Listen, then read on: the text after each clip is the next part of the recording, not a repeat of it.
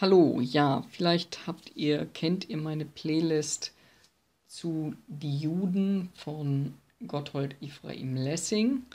Ich finde, das Thema ist zurzeit recht aktuell und ich würde eventuell demnächst die Liste gerne weiterführen und dann den zehnten Auftritt aufnehmen.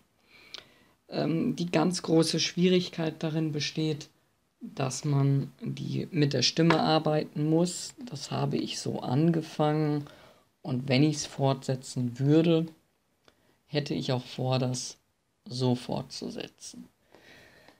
Okay. Ja, was wollte ich sonst noch sagen? Ach ja, allerdings steht in den Sternen, wann mir das gelingt. Und darum möchte ich kurz, und darum hier jetzt eine kleine Spoilerwarnung, ich möchte ganz kurz ähm, aufzeigen, worum es in dem Stück eigentlich geht. Also einer wird ausgeraubt und es eilt ihn ein Ehrenmann zur Hilfe, indem er die Räuber vertreibt. Und ja, der Ausgeraubte ist total dankbar für seine Rettung und dadurch wird der Ehrenmann aufgenommen und ist deren Gast. Ja. Und was jetzt aber der ich weiß gar nicht, ob der Leser das von Anfang an weiß. Was jetzt aber das Besondere ist, es herrscht halt ein ganz schlimmer Antisemitismus in diesem Land, in diesem Gebiet. Und darum haben sich die Räuber, die keine Juden sind, dazu entschlossen, sich als Juden zu verkleiden, damit sie getarnt sind. Und der Ehrenmann ist ein Jude.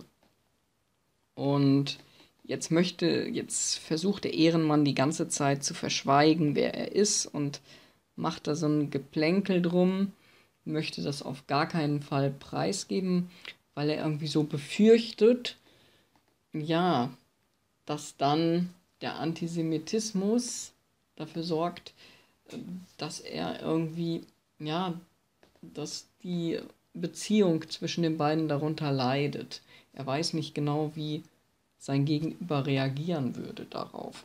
Und dann sind die beiden im Grunde die besten Freunde die ganze Zeit und irgendwann am Ende klärt es sich auf und es klärt sich auch noch auf, dass die eigenen Bediensteten, wenn ich das richtig in Erinnerung habe, von dem Ausgeraubten sich als Juden verkleidet haben und ihn versucht haben auszurauben. Und ja, das Ganze, der ganze Plan ist im Grunde dadurch entstanden oder war dadurch möglich, dass dieser Mann so stark antisemitistisch war. Und ja, dadurch war das halt eine gute Idee, sich so zu tarnen. Aber dadurch, dass diese Bärte, die sie sich da angeklebt haben, aufbewahrt wurden, hat sich das Ganze dann aufgelöst. Und ja, was dann noch ähm, nebenbei läuft, sind zwei kleinere Liebesgeschichten, um so den Leser bei der Stange zu halten. Also die, also die Tochter von dem Ausgeraubten verliebt sich in den Ehrenmann und umgekehrt. Und ja, natürlich gibt nachher der Ausgeraubte ähm, sein Okay zu der Hochzeit, weil dass er dann Jude ist und so, ist ganz egal.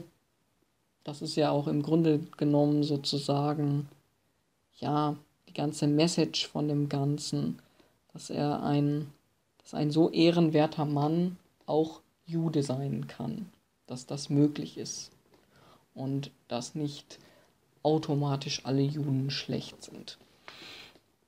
Und die Ironie halt, die, die nicht Juden sind, äh, haben sich als Juden verkleidet und sind die Bösen. Und ja, das ist die eine Liebesgeschichte, die sich da entwickelt. Und die andere Liebesgeschichte ist zwischen dem Knecht des Reisenden, also des Judens, und ich weiß gar nicht, Lisette. Lisette Ich glaube, das ist so ein Hausmädchen von dem Ausgeraubten. Zwischen den beiden ähm, entwickelt sich auch noch so eine kleine Liebesgeschichte. Ja, und das war's.